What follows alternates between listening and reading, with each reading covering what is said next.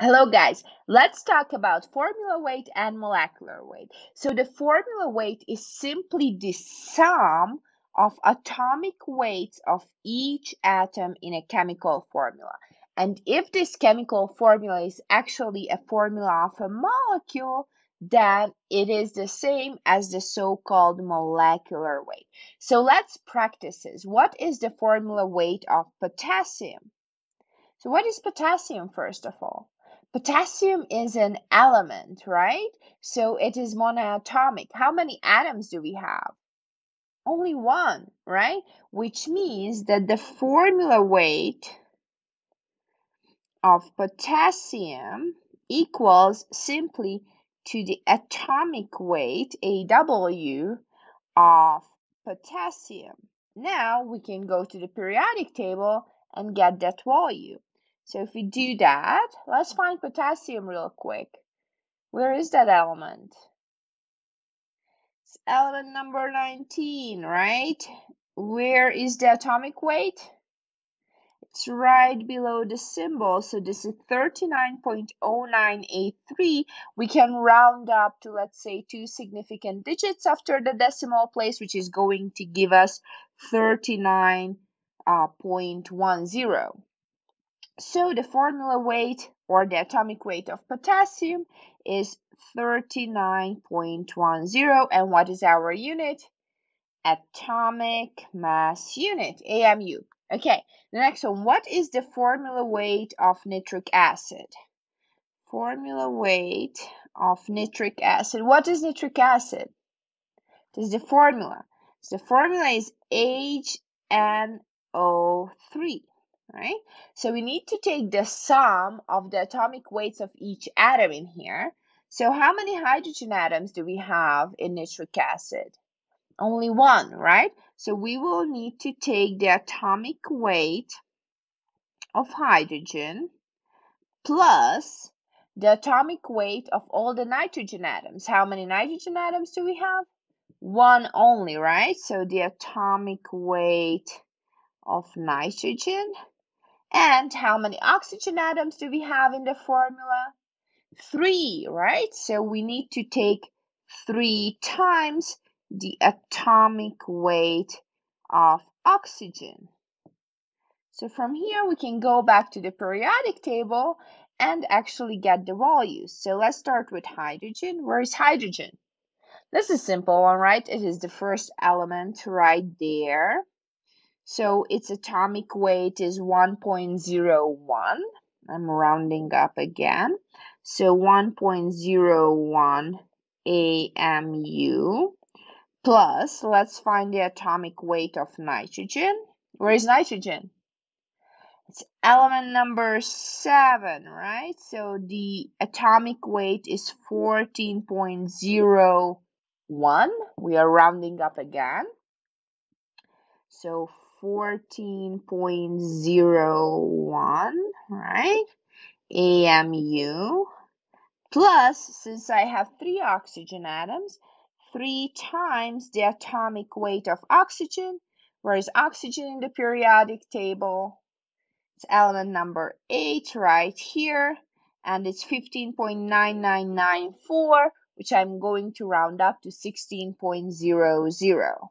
So 3 times 16.00 AMU. Now, if you do this calculation, you are going to get 63.02 AMU for the formula weight of nitric acid. Okay, let's do another example. Let's try to figure out the molecular weight of glucose. Okay, so this is a molecule. Again, we need to take the sum of the atomic weights of each atom. So, molecular weight MW of glucose, which is C6H12O6. So first, I'm going to take uh, carbon into account. How many carbon atoms do we have? 6, right? So I need to take 6 times the atomic weight of carbon plus how many hydrogen atoms do we have? 12, right? 12 times the atomic weight of hydrogen plus how many oxygen atoms do we have in this molecule? Six, right? So six times the atomic weight of oxygen. Okay, so now uh, we can plug in the numbers. So 6 times going back to the periodic table. Where is carbon? Carbon is element number 6, right? So its atomic weight is 12.01 AMU. So 12.01 AMU plus 12 times the atomic weight of hydrogen and we just had hydrogen so it's 1.01 AMU also from the periodic table. And then we need to take oxygen so we also just did oxygen that was 6 times 16.00 AMU okay now if you do this calculation you are going to get 180 0.18 AMU. Okay, so that is the molecular weight of glucose. Now, uh, it's also important uh, to be able to calculate the percentage by mass of each type of an element in a compound. Okay, and uh, we can do that using this huge formula right here, but it's not complicated at all. So if I want to calculate the mass percent composition of an element, I need to take the number of atoms of the element in the formula or in the molecule. I need to take the atomic weight of that element, uh, multiply the two together, and divide that by the formula weight of the substance times 100 because we are talking about the percentage. Okay, so let's try to calculate the mass percentage of carbon in methane. So methane is CH4 and we are trying to calculate the percent mass of carbon in CH4. All right, so first I need the number of atoms of the element. So how many atoms of carbon do I have in CH4?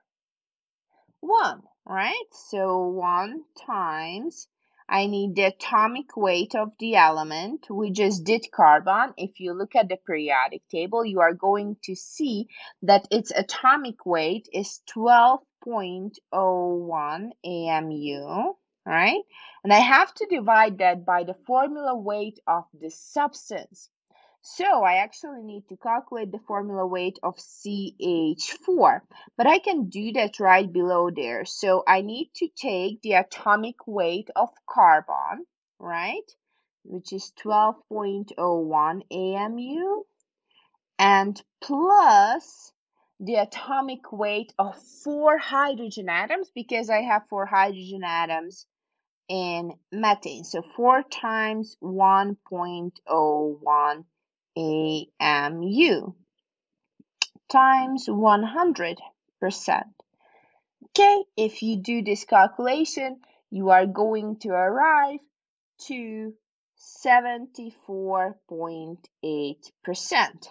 So this means that 74.8% of CH4 is actually carbon.